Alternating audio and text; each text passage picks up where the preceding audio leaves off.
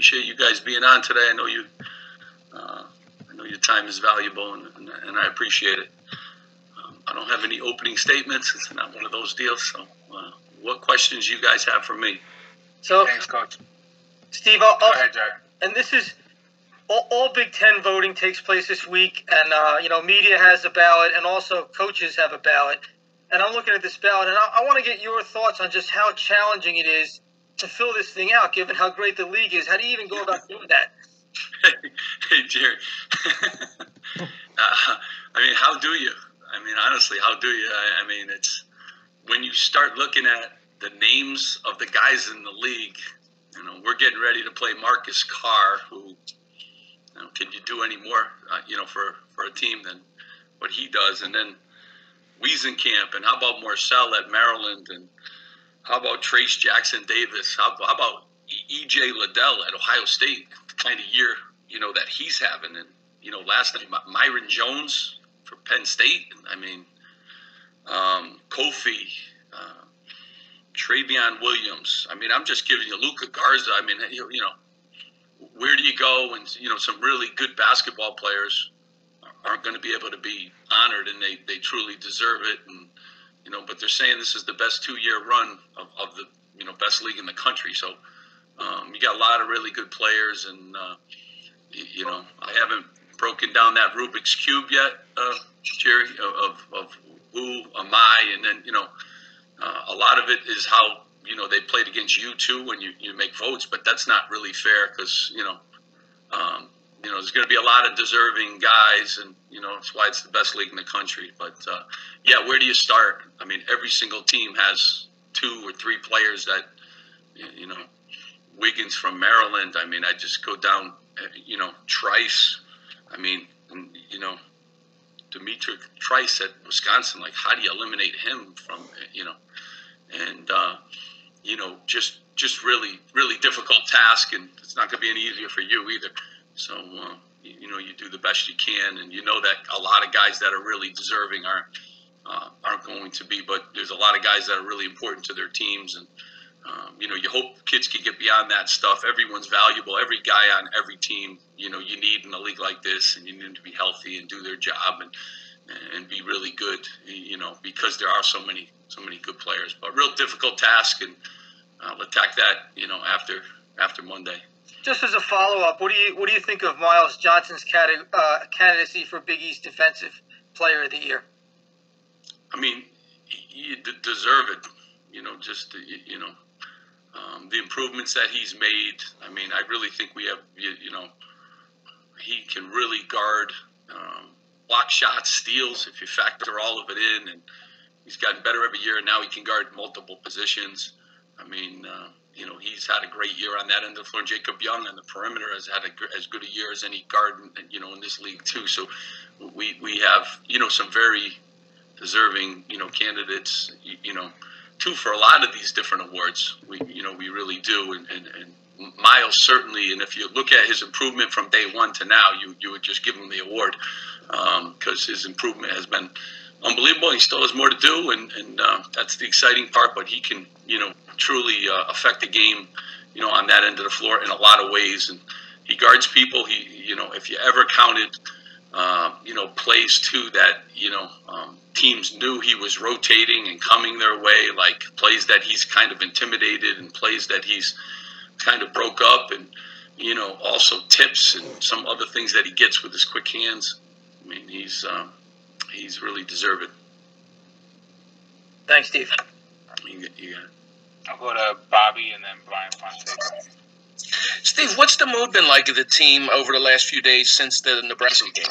Yeah, awesome, Bobby. These guys are great. They, they, they're great. Um, had a good fun practice yesterday. These guys have great approaches. You know, these, these are waters we've been in many times. You know, so guys have been great. And uh, in a league like this, I think every coach too that I've spoken to, you, you know, like this is uh, this is what we signed up for. And and I know our guys are excited. We're playing meaningful games in February. It's great. It's great. We've come a long way uh, with the program. Been there before too. So kids, the kids are the kids are always great. Kids are always great. They're resilient. They move on. They, they do a good job with that. They're probably better than me.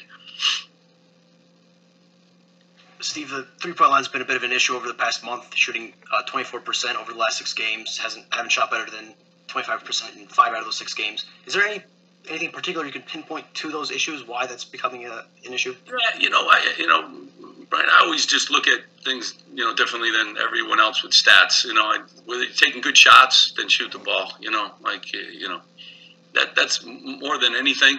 And when they go in, we're the best three-point shoot team in the world against Indiana, and then we, you know, you know, are you taking good shots? Yeah, they are.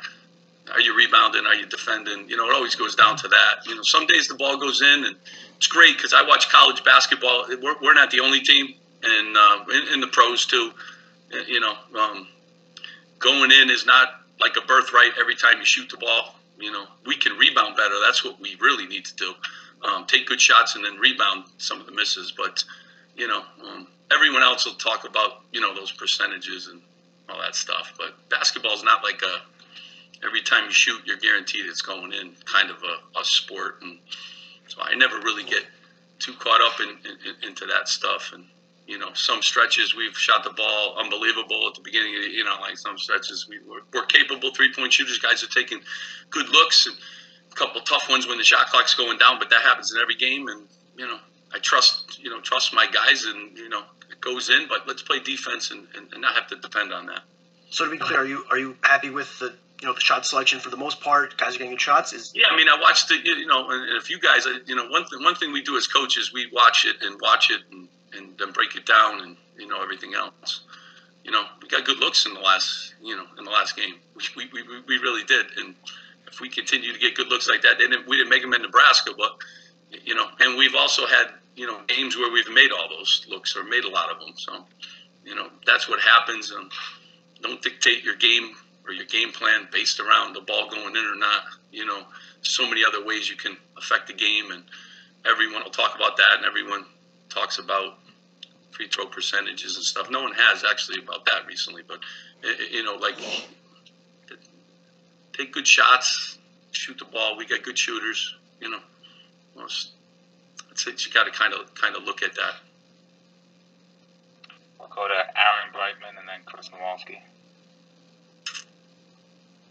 Coach, uh, Minnesota obviously has some injury issues right now. Uh, how difficult does that make for you to prepare for them uh, versus the last time you faced them?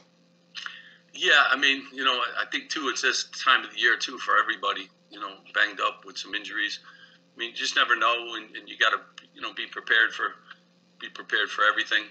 You know, senior night too there, so you don't know, you know, what they're going to do, and and I'm never as concerned with the lineups that they have, just more concerned with you know, the lineups to end the game with.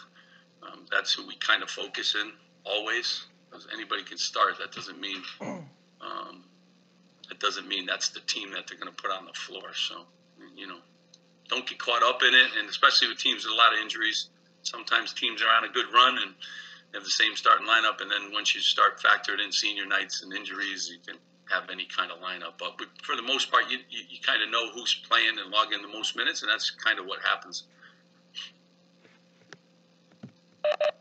Hey, coach. Uh, the last couple of games, uh, the team has gotten out into uh, you know slow starts. Um, from watching the film, have you you know seen a reason why that that's been the case?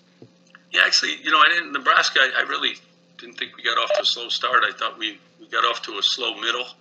Um, you know, our, our start was fine in that game. I know Indiana, we didn't get off to a great start, but you know, we've had that we've had some great starts and we haven't had some good finishes. Indiana, bad start, good finish.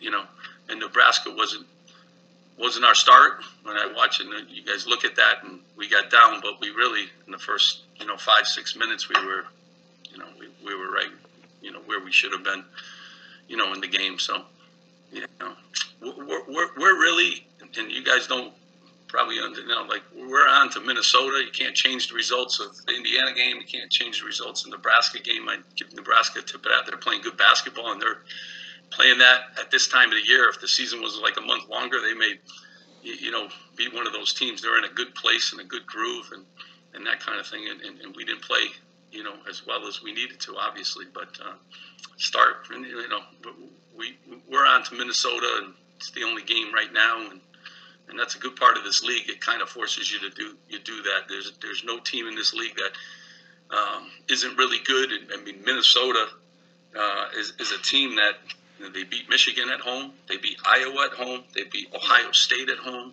and they beat Purdue.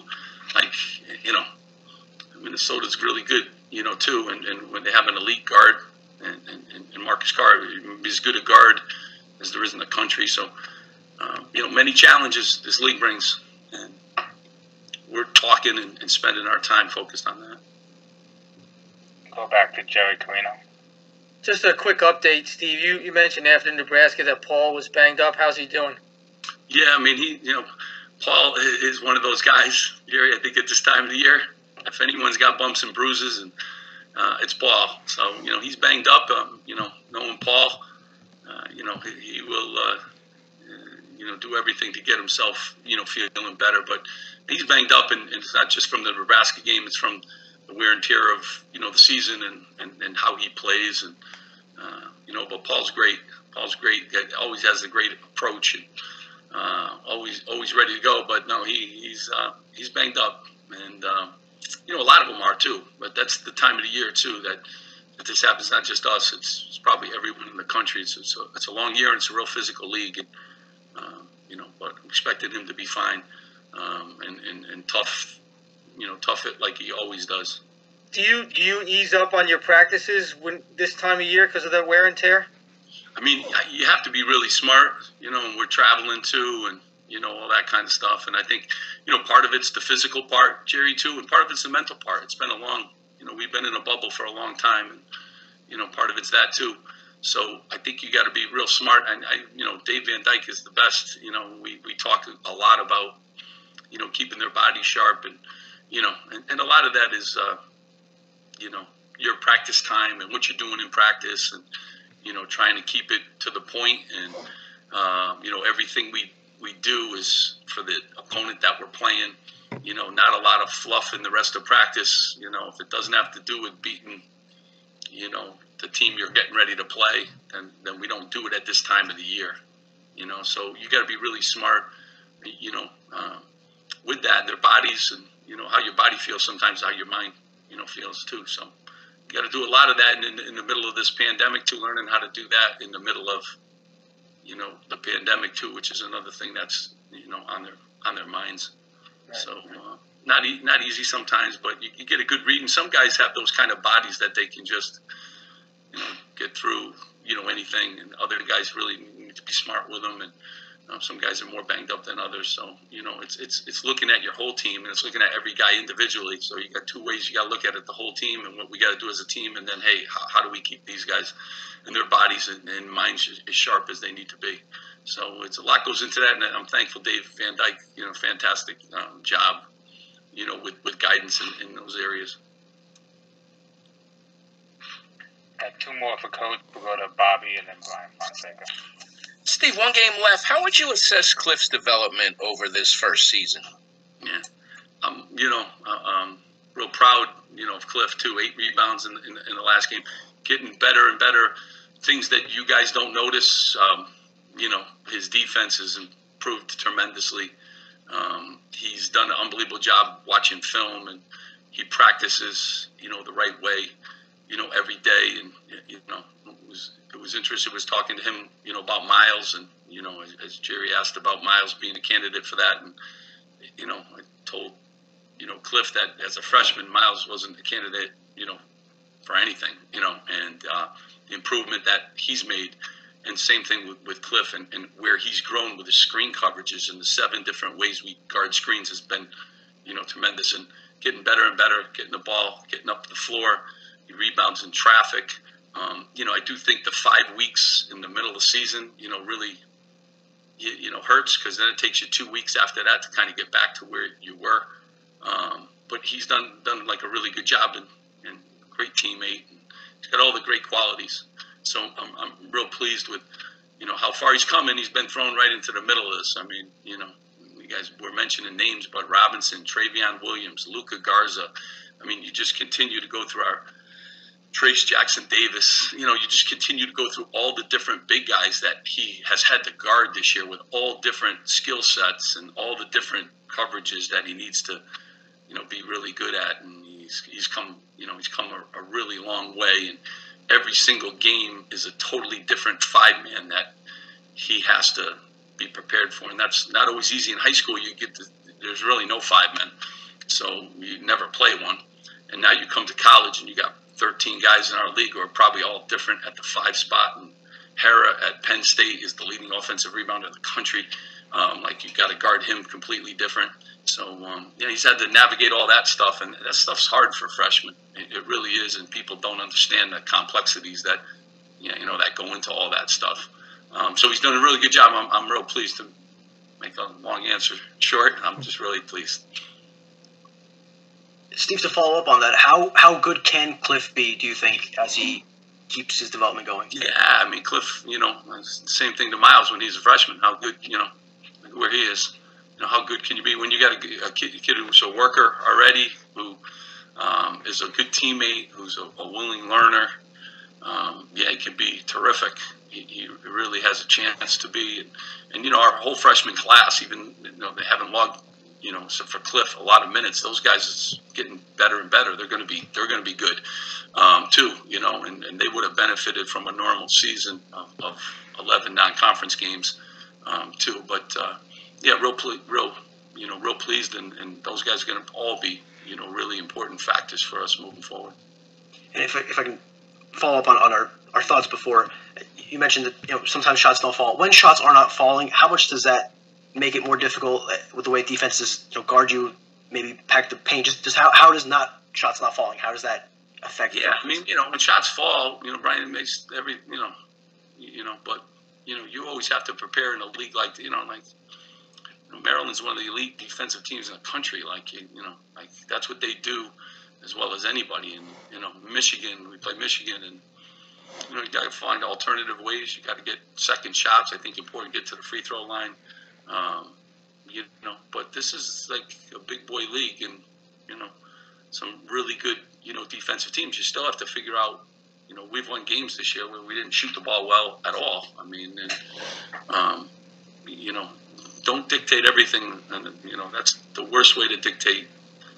Um, you know, winning basketball games, try to outscore teams. There's not many teams in the country that just can do that every night. I mean, it's impossible. The NBA teams who can score at the highest level don't score every night. It's just you know, you know, travel. Like you guys don't factor in all the different things. Maybe you're playing five games in a row. Maybe you're playing. You know, like there's a lot of things that go into it. Some guys are in good places. You know, mentally they're feeling good. You know, other guys are in slumps or not. You know, like so. There's so many that go into that. You know, defense and rebound, and be connected and get through the obstacles of, of, a, of a game don't dictate at all on the, on the ball going in. When the ball goes in, you know, it's, I guess it's I guess it's a little easier.